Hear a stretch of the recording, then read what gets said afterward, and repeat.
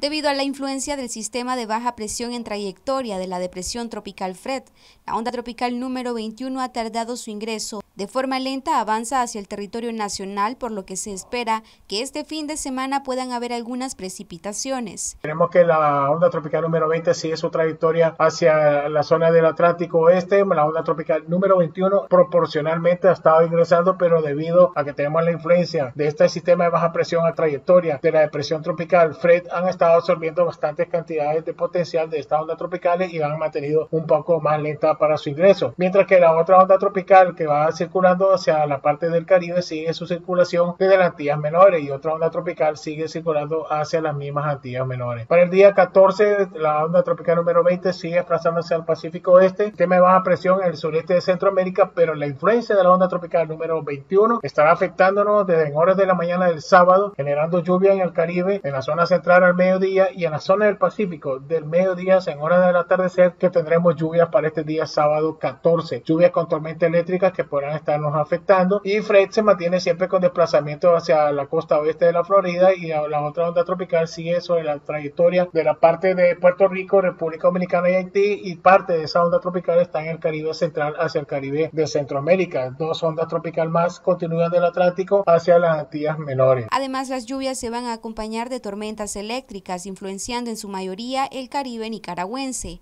Para el próximo domingo 15 se prevé el ingreso de otra onda tropical al territorio nacional, por lo que el pronóstico de lluvias prevalece. Para el día 15, la onda tropical número 21 ha salido. Mantenemos siempre la influencia de otra onda tropical que circula del Caribe central hacia el Caribe de Centroamérica. Y Fred continúa como una tormenta tropical frente a la costa oeste de la Florida. Otra onda tropical sigue su circulación de las Antillas menores hacia el Caribe central. Y otra onda tropical sigue del Atlántico hacia las Antillas menores. Para Noticias 12, Gabriela Solórzano.